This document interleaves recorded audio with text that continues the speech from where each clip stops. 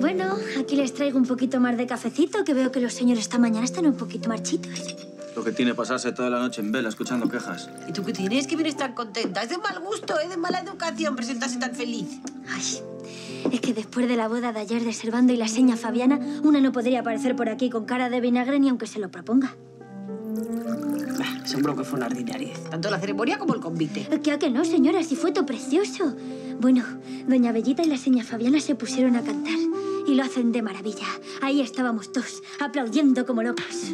Fabiana tiene una voz muy bonita. Bueno, y Bellita, ¿qué voy a decir de Bellita? Que no se sepa ya. Y tendrían que haber visto al Servando. Estaba encantado con su esposa recién estrenada. Hasta se la llevó en volandas al final de la celebración.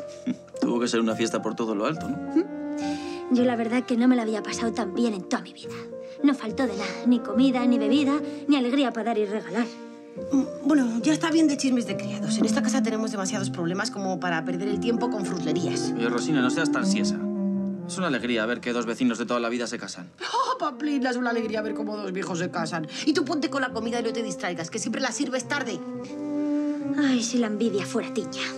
¡Oh! ¡En mi presencia! ¿La has oído? Sí, sí, lo he escuchado. Rosina, lo he escuchado. Y es normal que te conteste así. Le has sacado de sus casillas. Porque se aguante que trabaja para mí, ¿eh? La voy a poner a escuadra ahora mismo. ¿Quién lo voy a tolerar esta falta de respeto por parte del servicio? ¿Quién se habrá creído que es? Por favor, ya está bien. Casilda no tiene la culpa de que te hayas levantado con el pie izquierdo. Y yo tampoco. Y tampoco de que se lo pasaran muy bien en la fiesta. ¿No me vas a dejar que vaya a reprenderla? No. Rosina, por favor, siéntate y desayuna y deja de hablar de la maldita tertulia. A partir de ahora voy a ser yo quien lleve los pantalones en esta casa.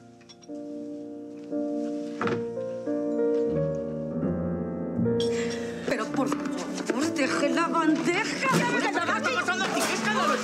¡Esta mujer que no para de faltarme al respeto, Heriberto! Pero bueno, será mentirosa. Pero si es su mujer que no es capaz de escuchar nada de lo que nadie le dice. Vamos a ver, esto no puede seguir así. ¿Estamos? ¿Os habéis fijado la cara que tienen los clientes? Están horrorizados. Pero es de ella, que no para de chincharme. Por favor. Pero si ha empezado usted echándome en cara que Antoñito no había venido. Ya está bien, por favor. Seguro que ambas se han faltado al respeto, así que si piden disculpas mutuamente y ya está, y aquí paz y después gloria, por favor. Yo no tengo que pedir perdón a nadie, por nada. Yo tampoco. Pues algo vamos a tener que hacer, pero así no se puede llevar un negocio. Sí, pues ya me dirá usted qué hacemos. Porque su esposa es más dura que la piedra berroqueña. No, si está claro que al final vamos a tener que hacer como el rey Salomón. ¿Ah, sí? ¿Qué vas a hacer? ¿Partir el restaurante en dos? No, no va a ser necesario llegar a eso, Rosina. Ya está bien.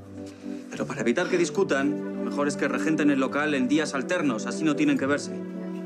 Pero es que eso va a significar mucha labor para el día que me toque a mí. A mí me parece perfecto. Feten. Es más, si no les importa, puedo empezar el turno hoy. Y mañana para Rosina. Todo el día para Rosina. A ver si tenemos suerte y no le da tiempo a quebrar el negocio. Me parece estupendo. Rosina, coge tus cosas que nos vamos, pero ya. que Hoy es tu día libre. Vamos. Recoge las pastas. Es tu día de labor.